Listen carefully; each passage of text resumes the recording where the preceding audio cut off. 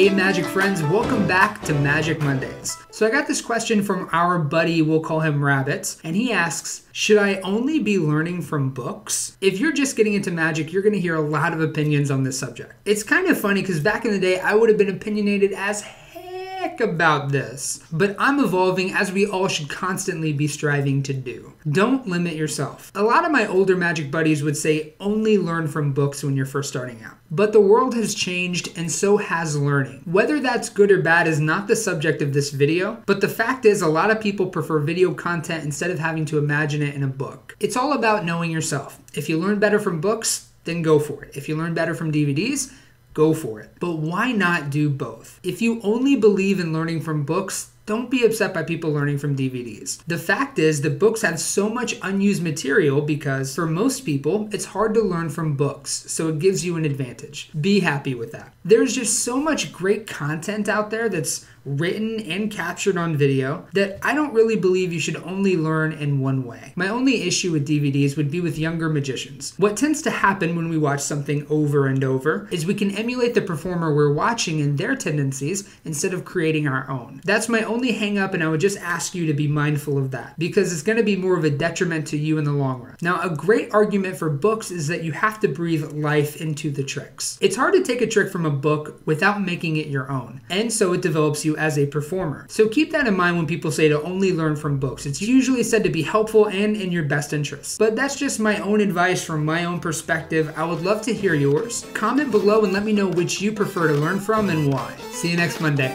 Peace.